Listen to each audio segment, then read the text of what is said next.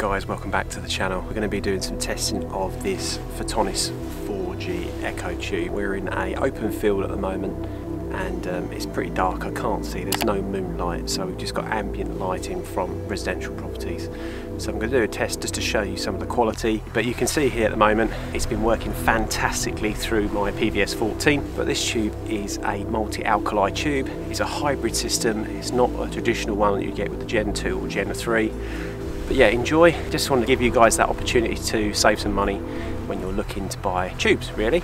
So yeah, hope it's really helpful for you guys and uh, speak soon.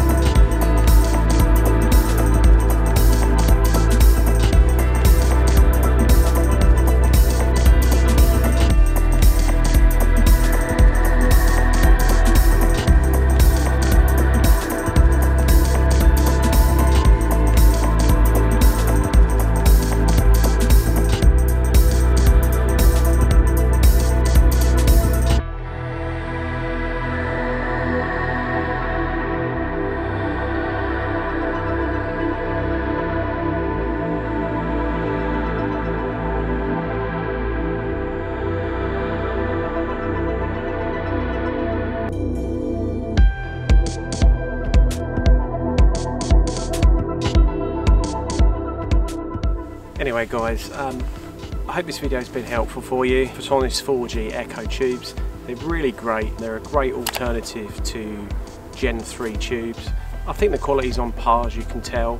Um, the camera does actually struggle to film through it so what you see through your actual naked eye is so much better and so much clearer because you don't have to worry about two electronic things focusing so as you can see here I'm really clear so um, it's worth having a look at an investment if you've got different tubes option if you're building a, a set of uh, night vision or if you're a little bit curious and you want to see what sort of quality you're going to get if you invest your money in something like a Photonis tube. So this is white phosphor, they do it in green as well but um, white seems to be the way to go, just gives you a little bit nicer contrast.